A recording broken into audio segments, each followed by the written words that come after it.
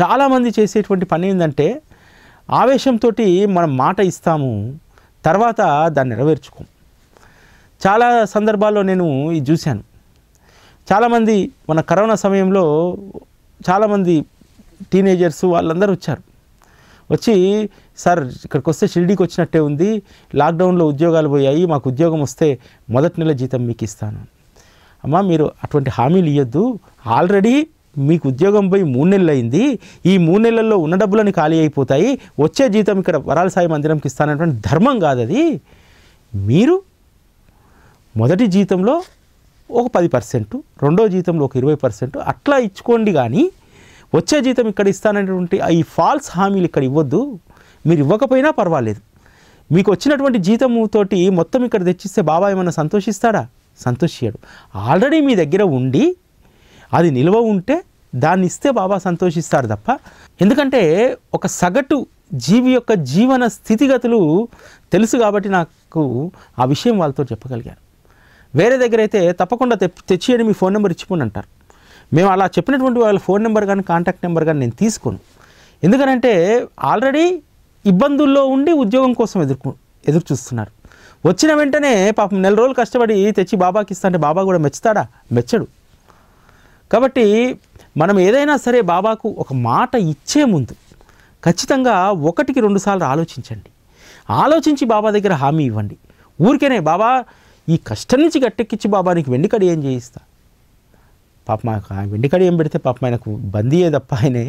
అందుకనే మేము బాబాకు చాలా స్మూత్గా ఉండాలని చెప్పి అందుకని నేను బంగారు గొలుసు చాలా స్లూజ్ చేయించుకున్నాడు బాబా. ఏదో అందంగా అలంకరించాలి కాబట్టి పెడతాం కాబట్టి. నిజంగా ఇవన్నీ ఆయనకు బరువు. అంతకు మించి ఇంకేదైనా మన మంచి పని కోసం దాన్ని ఉపయోగించాలి. ఎందుకంటే ఈరోజు మీరందరూ సాయి టీవీ చూస్తున్నారు. మనము ఎన్ని లక్షలు ఖర్చు పెడితే ఈ పని జరుగుతుంది? ఎన్ని లక్షలు ప్రతి నెల ఖర్చు పెడితే మీ ఇళ్ళల్లోకి వస్తుంది? ఇటువంటి వ్యవస్థ అంటే మనము ఏదైనా అన్నదానం చేస్తే ఒక వెయ్యి రూపాయలు ఇస్తే వంద మంది సంతోషించారని చెప్పి మనం చాలా గర్వంగా చెప్పుకుంటాం. కానీ ఇక్కడ మీరు ఇచ్చేటువంటి ఆ వెయ్యి రూపాయలతోటి కొన్ని లక్షల మంది సాయి టీవీ ద్వారా ఆనందంగా ఉన్నారు ఈరోజు. బాబాను అనుక్షణం చూడగలుగుతున్నారు. అట్లా ఏదైతే సద్వినియోగం అవుతుందో అక్కడ ఇవ్వడానికి ప్రయత్నం చేయండి. అట్లా అని చెప్పి ఎక్కడా కూడా మీరు మీ స్థాయికి మించినటువంటిది మీతో సాధ్యం కానటువంటి హామీ ఆధ్యాత్మిక మార్గంలో ఎవ్వరికీ మీరు ఇవ్వకండి. నేను ఇది చేస్తాను విగ్రహం ఇప్పిస్తాను అది చేస్తాను ఇది చేస్తాను. ఎక్కడా కూడా ఇటువంటి హామీలు ఇవ్వకండి. ఎందుకంటే మీ దగ్గర నుంచి తీసుకోదలుచుకుంటే ఏదో ఒక రూపంలో భగవంతుడే తీసుకుంటాడు. మనం మామూలుగా మనం ఇచ్చేటువంటి హామీలు కూడా బయట రాజకీయ నాయకులు ఇచ్చినటువంటి హామీలుగా ఉండిపోకూడదు భగవంతుని దగ్గర. మన శక్తి మన సామర్థ్యం అంత సమయం ఉందా? ఎందుకు నానాసాహెబ్ చందోర్కర్ డబ్బు లేదా? డబ్బు ఉంది ఎందుకు కాన్సన్ట్రేషన్ చేయలేకపోయాడు అక్కడ గట్టు కట్టించడానికి? ఎందుకంటే తనకు ఉన్నటువంటి పని ఒత్తిడి రకరకాల వ్యాపకాలు అధికారులతో పర్యటనలు ఇవన్నీ చాలా బిజీగా ఉండేటువంటి మనిషి నానాసాహెబ్ చంద్రకర్ అక్కడికి వచ్చినప్పుడే గుర్తొస్తుంది ఆ విషయం. కాబట్టి అనవసరంగా హామీ ఇచ్చాడు. హామీ నెరవేర్చుకోకపోయేసరికి ముఖం చాటేశాడు. మన పరిస్థితి కూడా చాలా సందర్భాల్లో అదే జరుగుతుంది. ఈ అనుభవం తర్వాత నానాసాహెబ్ చందోర్కర్కు చెప్తారు. బాబా నానా నువ్వు ఎవరికైనా ఇవ్వదలుచుకుంటే సమృద్ధిగా ఇవ్వు. ఇస్తే స్వీకరించినటువంటి వాళ్ళు చాలా సంతోషపడతారు అని చెప్పి చెప్తారు. ఒకరోజు కళ్యాణ్లో వారి గృహంలో ఉండగా ఒక రోజు భిక్ష స్వీకరించేటువంటి ఒక భిక్షిని మహిళ వస్తుంది. వచ్చి భిక్ష అడుగుతుంది. అడిగితే నానాసాహెబ్ చంద్రకర్ భార్య ఆవిడకు కావలసినటువంటి రొట్టె పప్పును ఇస్తుంది. ఇచ్చిన తర్వాత ఆవిడ ఒక విచిత్రమైనటువంటి కోరిక కోరుతుంది. ఏంటి అంటే అది నాలుగైదు ధాన్యాలు కలిపి విసిరినటువంటి బాకిని అడుగుతుంది. అంటే ఈరోజు మనం మల్టీగ్రెయిన్ ఆట అంటాం కదా అలాంటిది అడుగుతుంది. ఎందుకంటే నానాసాహెబ్ చందోర్కర్ భార్య ప్రత్యేకంగా ఈ నాలుగైదు రకాలైనటువంటి ఈ గింజలను స్వయంగా విసృతి విసిరి భాజని తయారు చేస్తుంది. కాస్త ఆరోగ్యానికి మంచిది అని చెప్పి. అయితే ఆవిడ నాకు బాజిని కావాలి ఈరోజు బాజిని ఉంటే పెట్టమ్మా అని అడుగుతుంది. సరే అని చెప్పి ఆవిడ నానాసాహెబ్ భార్య కూడా కాస్త దయార్థ హృదయరాలు కాబట్టి ఆ భిక్షగత్త అడిగినటువంటి ఆ బాజిని తీసుకొచ్చి ఒక షేరడు బాజిని ఇస్తుంది. ఇచ్చిన తర్వాత నాకు ఇది సరిపోదు ఇంట్లో ఇంకొక ముగ్గురు నలుగురు ఉన్నారు అమ్మ ఒక్క పూటైనా బాజినీతో రొట్టెలు చేసుకొని తింటాము ఇంకొంచెం బాజిని అంటుంది. ఏం మాట్లాడుతున్నావు నువ్వు అసలు? నీకు అడిగింది ఇవ్వడమే గొప్ప ఎందుకు ఇట్లా చేస్తున్నావు? అంటే సరే నువ్వు ఇచ్చేదాకా నేను బోను అది అని చెప్పి పట్టుబట్టి కూర్చుంటుంది. భర్తను పిలుస్తుంది నానాసాహెబ్ను. ఏమండి చూడండి వెళ్ళట్లేదు ఈమె. బాజ్ని కావాలంటే బాజ్ని కూడా పెట్టాను. అయినా పోవట్లేదు అని అంటే ఏం సంగతి? ఎందుకు వెళ్ళవు? చెప్రాసిని పిలిపించి గ- బయటికి గెంటిస్తాను నిన్ను అని అంటే నన్ను గెంటించినా సరే నాకు ఇంకా బాజిని పెడితేనే వెళ్తాను అంటుంది. సరే అని చెప్పి చెప్రాసి వచ్చి ఆమెను బయటికి పంపించేస్తారు. బయటికి పంపించేసిన తర్వాత ఈ సంఘటన జరిగినటువంటి ఒక మూడు నెలలకు నానాసాహెబ్ షిరిడీకి వెళ్తాడు. వెళ్ళినప్పుడు బాబా నానాసాహెబ్ రాగానే వీపును వీపును చూపెడుతూ నింబారు వైపు మొహం పెడతాడు. ఎందుకు బాబా నాకు మొహం చూపెట్టట్లేదు? ఏమై ఉంటుంది? నేనేం తప్పు చేశాను? అని చెప్పి ఆలోచిస్తూ ఉంటాడు. బాబా మీరు ఇలా మీ దర్శనం కోసం నేను వస్తే మీరు వీపు చూపెట్టడం ఏంటి? ఇది నాకు చాలా అవమానంగా ఉంది బాబా అంటే బాబా తిరుగుతాడు. ఏ అవమానం నీ ఒక్కడికేనా? నీ ఇంటికి వచ్చి బాజనీ పెట్టమని చెప్పి అడిగినటువంటి ఆమెను ఎంతగా అవమానించి పంపావు? అని చెప్పి గుర్తు చేస్తారు ఆ సంఘటనను గుర్తు చేసినప్పుడు నానాసాహెబ్ చందోర్కర్కు ఆలోచన వస్తుంది. అరే ఇదంతా బాబా నాకు పరీక్ష పెట్టడానికి కదా. అసలు మా ఇంట్లో బాజిని తయారు చేస్తామని చెప్పి రోజు అడుక్కునేటువంటి ఆ భిక్షునికి ఏ విధంగా తెలుస్తుంది? భిక్షుని అంటే పెట్టింది తీసుకొని వెళ్ళాలి. కానీ బాజినియే కావాలని ఎందుకు కోరింది?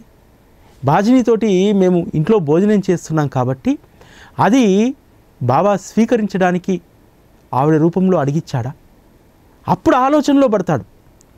అప్పు మామూలుగా ఆ బిచ్చగత వచ్చి అడిగినప్పుడు అహంకారము దర్పము పదవి ఇంట్లో చెప్రాసి ఉన్నాడు సేవకులు ఉన్నాడు వీళ్ళతోటి ఏమైనా చేయగలుగుతానేటువంటి అహంకారం అప్పుడు వచ్చింది కానీ బాబా ఆ విషయం చెప్పగానే బాజని అనేటువంటి విషయాన్ని గుర్తు చేయగానే అసలు రోడ్డు మీద రోజు అడుక్కునేటువంటి ఆవిడకు మా ఇంట్లో బాజినీతో మేము రొట్టెలు చేసుకొని తింటామని ఎట్లా తెలుసు? అసలు బాజనీ గురించి ఎలా తెలిసింది?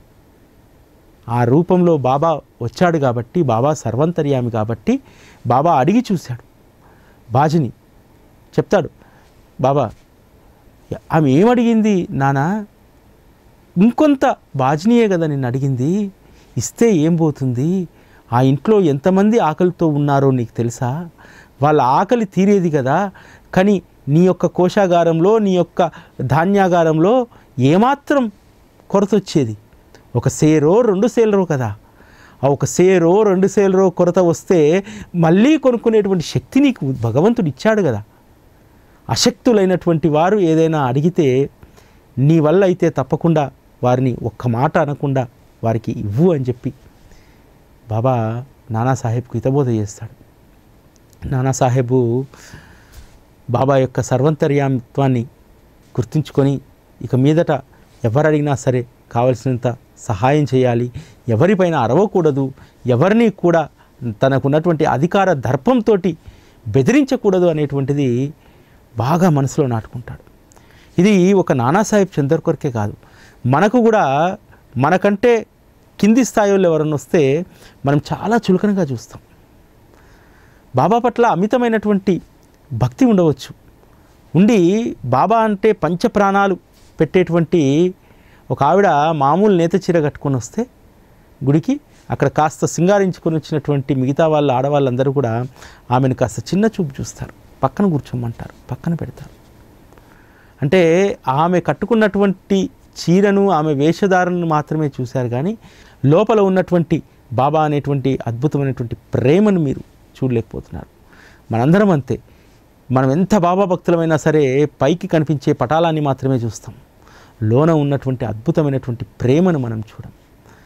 నేను ఎవరైనా సరే నేను ప్రాథమికంగా నేను వ్యక్తిగతంగా నిర్ణయించుకుంది ఏంటంటే ఈ వరాల సాయి మందిరానికి వచ్చేటువంటి వాళ్ళే కావచ్చు సాయి టీవీ ఆఫీస్కి వచ్చేటువంటి వాళ్ళే కావచ్చు. వాళ్ళు ఎవరైనా సరే ఎందుకంటే ఇది సిటీకి ఏం దగ్గర ఉండదు సిటీకి చాలా దూరం.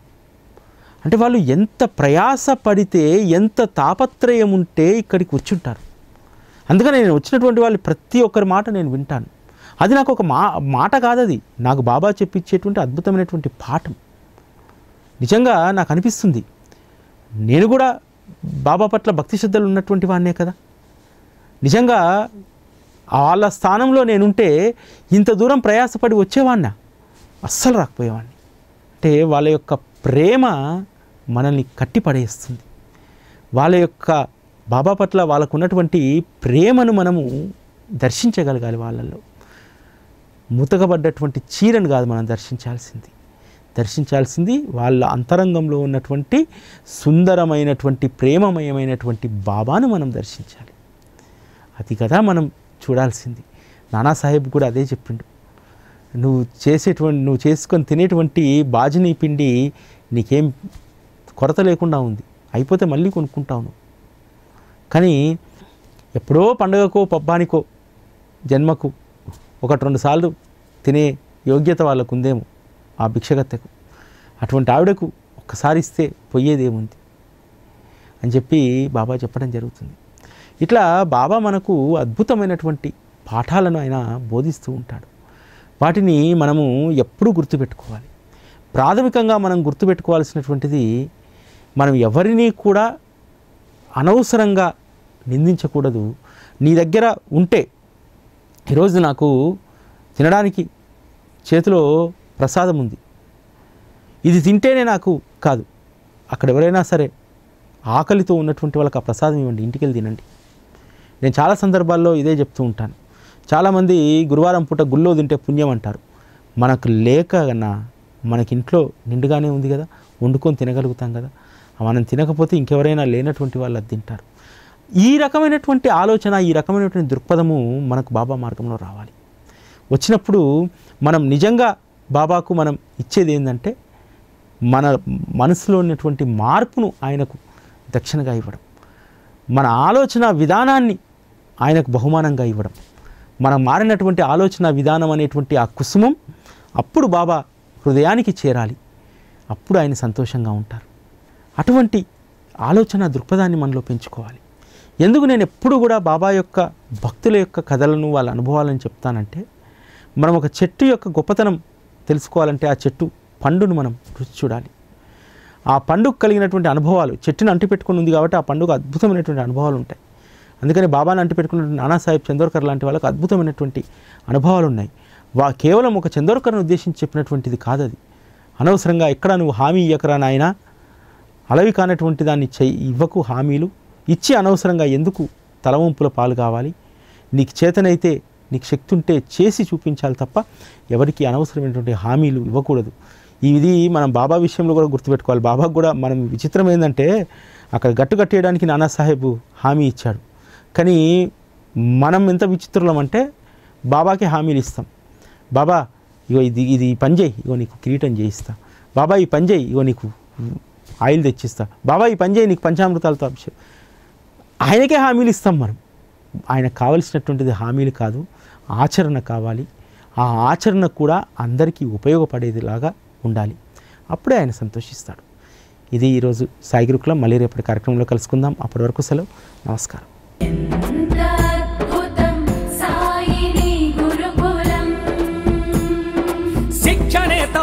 శిక్షణే లేని శరణాగతి సౌదం.